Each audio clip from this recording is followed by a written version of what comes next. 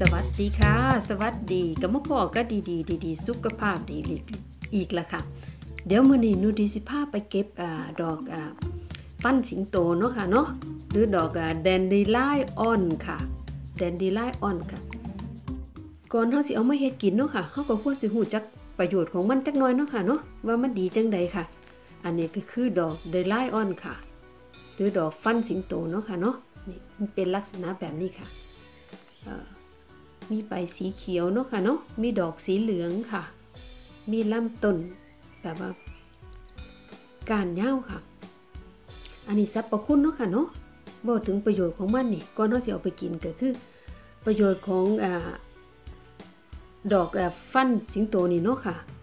ว่ามันสามารถขับปัสสาวะได้ค่ะ แล้วก็ร่างกายเฮาสิบ่ขาดเกลือแร่ค่ะบ่ต้องห่วง บ่ขาดเกลือแร่ค่ะเหี่ยวหลายก็บ่ขาดเกลือแร่เพิ่นว่า แล้วมันก็ยังสามารถลดความดันเลือดของเลือดได้ค่ะ แล้วก็ยังเป็นแล้วก็ยังซอยเพิ่มภูมิต้านทานต่อร่างกายเนาะค่ะ ให้ร่างกายเฮานี่แข็งแรงค่ะ ต่อต้านโรคได้ค่ะ ซอยจเจริญอาหารค่ะ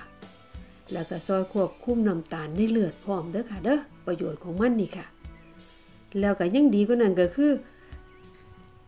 อันเนี้ยมันก็ยังสามารถอ่าว่ายังครับไอ้ขับถ่ายค่ะ ได้ย่างสะดวกค่ะ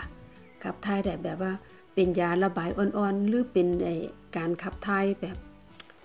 สะดวกค่ะ เพื่อนว่า แล้วก็ยังซอยลดอ่าอ่าท้องผูเด้อค่ะเด้อท้องอืดท้องเฟ้อแบบนี้ค่ะสรรพคุณของมัน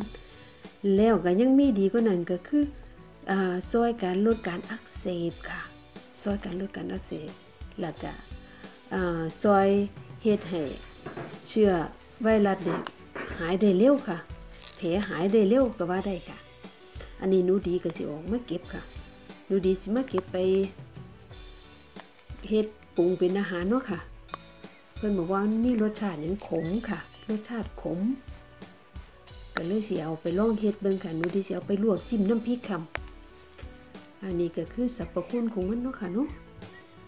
แล้วเพิ่นก็ยังบอกว่ามันก็ยังมีมีดีกว่านั้นอีกค่ะ ก็คือดอกมันนี่เนาะค่ะซอยบำรุงแบบว่า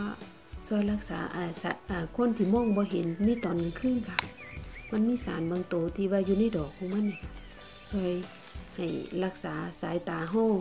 มองได้เห็นได้ดีในตอนกลางคืนค่ะ แล้วเพิ่นก็ยังว่ามัน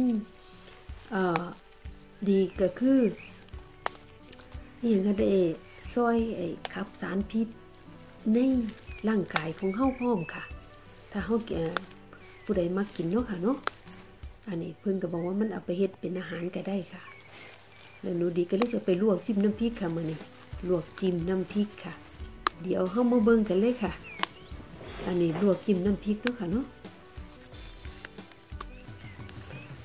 แล้วไอ้ มันก็ยังอ่าห้าของมันนี่เนาะค่ะเนาะเพิ่อนก็ว่าเอาไปเองค่ะไปเฮ็ดเป็นชาติค่ะ ลดน้ำหนักค่ะ ลดน้ำหนักก็ได้ค่ะ เพื่อนว่าเออก็เลยว่าเอออ่านข้อมูลดีๆแล้วก็เลยเออเอามาบอกสู่กันฟังค่ะ เพื่อว่าเฮาเฮ็ดกินแบบว่าสบายใจเนาะค่ะเนาะเออเดี๋ยวหนูดีสิเอาไปลองมึงค่ะหนูดีสิเอาไปต้มจิ้มน้ำพริกก่อนค่ะมื้อนี้ อยากอยากชิมนะคะว่ามันมีรสชาติแบบใดแต่เพิ่นบอกว่ามันขมเนาะค่ะเนาะมันขมค่ะดอกขม แต่ว่าหนูดีก็อ่านี่บอกถึงแล้วก็กินได้ทั้งเบิดเลยเด้อค่ะ ใบดอกรากเออเพิ่นเอาออกมานี่เพิ่นเอาไปหากมันก็เพิ่นก็จะเอาไปเฮ็ดได้แบบว่าปรุงเป็นแบบว่าเฮ็ดเป็นชาใบมันก็จะเอาไปเฮ็ดเป็นชาก็ได้ค่ะชาเพื่อว่า ต้มกินน้ำมันเนาะค่ะเนาะแต่น้ำมันนี่แกแบบว่ามีรสชาติขมละค่ะ เบิ่งค่ะ สวยเขียวสวยเลยค่ะ แต่ว่ากานก็อ่อนๆ ฟังเสียงเด็ดนี่โอ้อยู่ดีว่า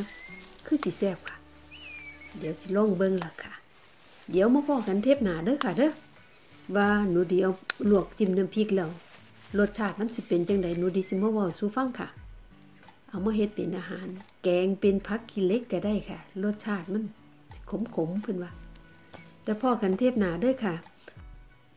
สุดท้ายก็ขอให้ทุกคนมีสุขภาพแข็งแรงด้วยค่ะเด้ออ๋อขอบคุณนะรักนะ ขอบคุณนะรักสุขภาพก็ต้องลงมือเฮ็ด โอ้ย สวย ๆ ค่ะ